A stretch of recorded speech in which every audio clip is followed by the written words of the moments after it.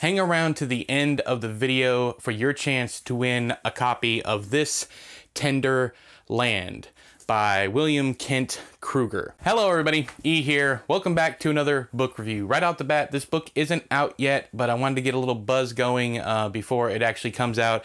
It does not come out until February 2nd. Wow, February 2nd of 2021. So next year, next February, this will be out. I'll do a book birthday to remind you guys to go uh, to go pick it up.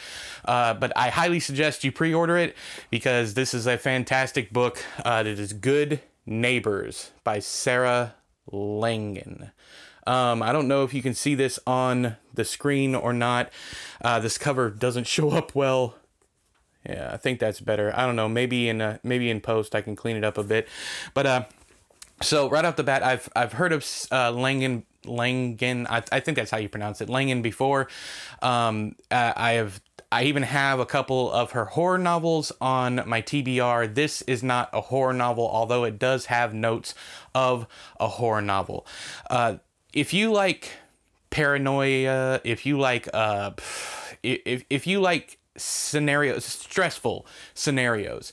Um, if you like people being accused of something they didn't do and trying to clear their name, uh, if you like climactic endings, uh, this this book is fantastic. Um, I am there was a couple of points in the book where I was like, eh, I, I could be moving a little bit faster. And that is toward the middle of the book.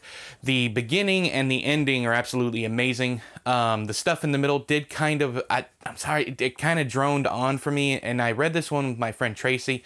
Um, and I believe Tracy felt the same way that there were certain, and this is a, this is a hella short book, um, 200 and 90 300 pages something like that. Um, the stuff in the middle kind of went on a little too long for my liking and her liking. Um, I- am giving this four stars. Uh, for those of you that don't want to hear anything else other than my uh, rating i'm giving this a solid four stars. And the only reason for that four stars is i didn't absolutely uh, love it. You know i didn't fall in love with it. It is a good book. It is a great book. It is not an amazing book. Um, and that's not a knock to the author. Uh, that's that's just me saying it didn't do as much for me as maybe you know some other books that have been five stars for me. I hope that makes sense. Uh, but it's not to say that this book isn't good. It is very very good.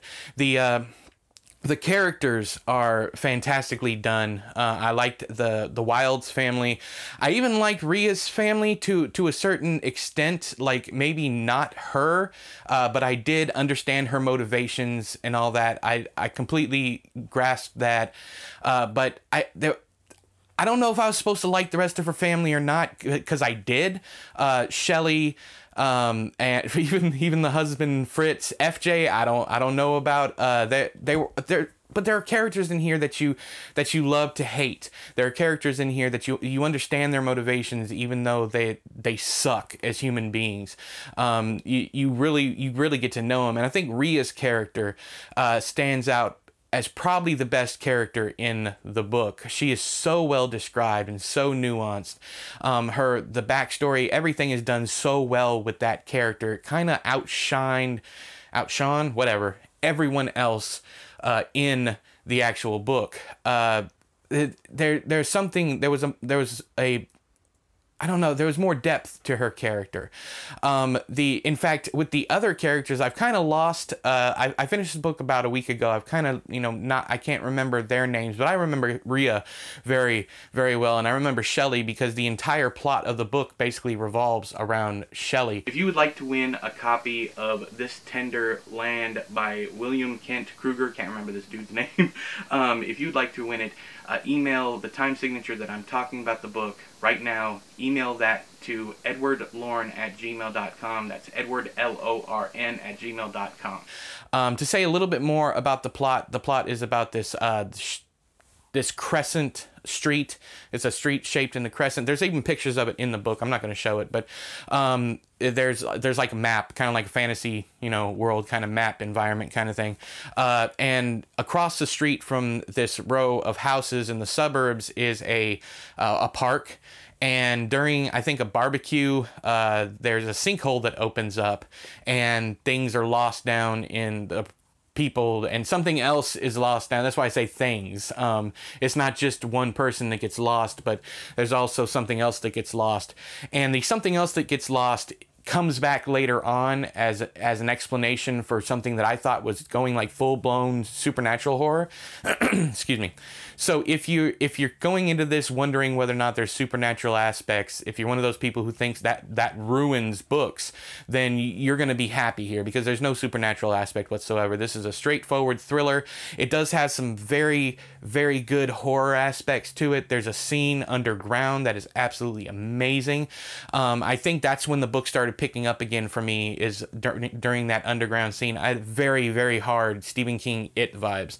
Very, very strong Stephen King It vibes. I loved it. Um, there's a point. There's a point where one character is just hollering the same thing over and over again.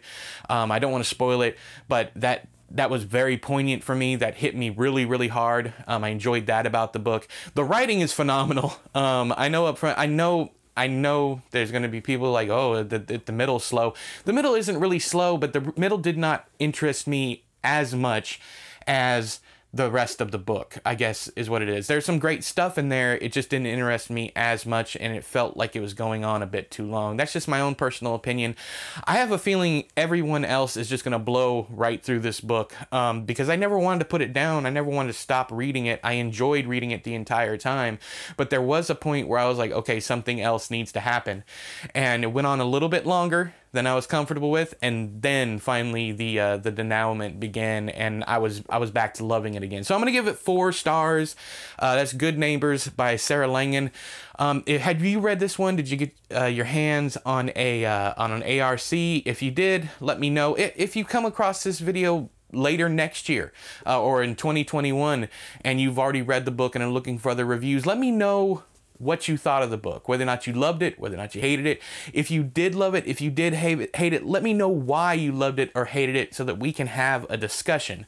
But until next time, I have been E, you have been you. This has been another book review. I'll talk to you guys later. Bye bye.